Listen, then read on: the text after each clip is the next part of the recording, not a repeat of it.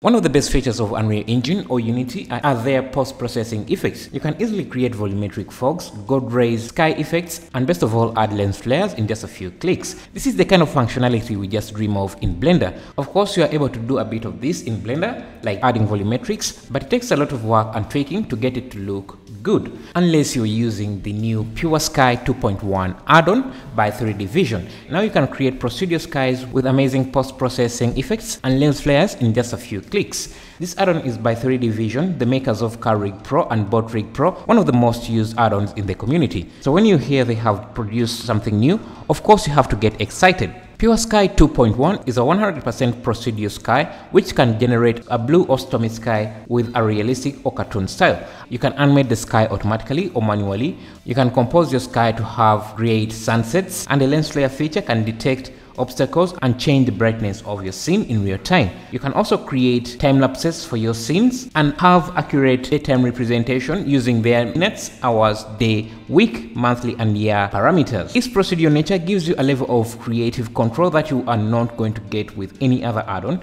You can change the time of the day to have a sunset or sunrise all in one slider. Achieving this kind of effect with the level of precision and control this add-on gives you is remarkably difficult to set up in Blender and now you have it at the tip of your fingertips. You also have the ability to animate all the effects you have using the animate panel. So if you want to get this add-on, I'll be leaving a link in the description so that you can check it out yourself and see how amazing it is. But now let's look at some of the features that come with this add-on. If you go to their download page, you can see how the pros have been using it to create amazing images. This add-on was used to make the sky in the official Blender 2.92 splash screen image. Just look at how amazing this, this, this came out. There are tons of features you can come and check out. Again, you can look at uh, a link in the description if you want to download uh, the add-on. So let's see how to use. So this add-on is not a script that you install through the preferences, but when you download uh, the add-on, you just get this Blender project file and all you have to do is append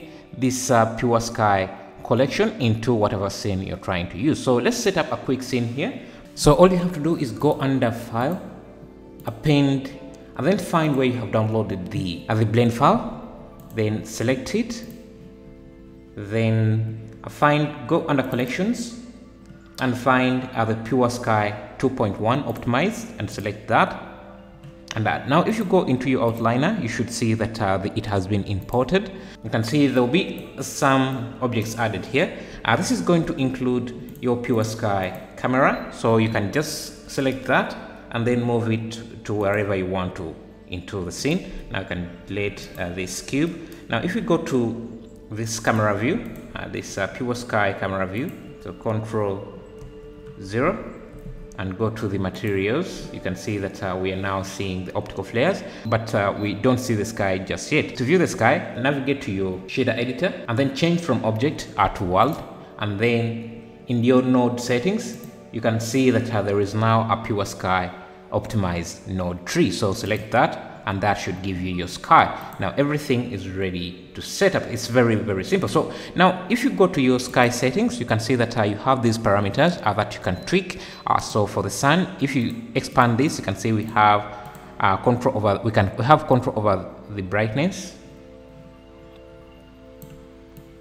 have uh, the sunset, we have the horizon height, basically all the features we have been talking about uh, you can also uh, if we expand the sun you can change uh, the size of the sun the length contour. So you have a lot of different settings uh, you can choose from. So if we add say a plane uh, let's uh, just scale it up to mark our horizon let's go back to object. Put in the material? Let's see if we give it a reflective surface.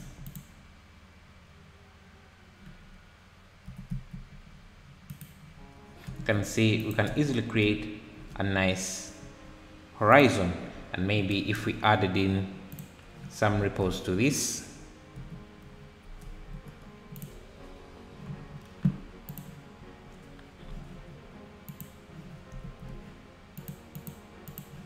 so we can add some noise. Bump map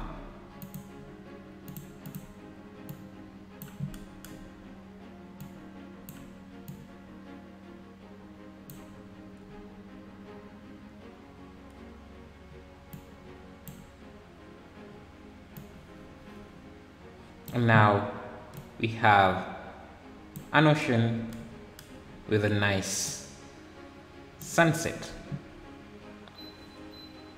Yeah so thanks for watching. I'll see you in the next video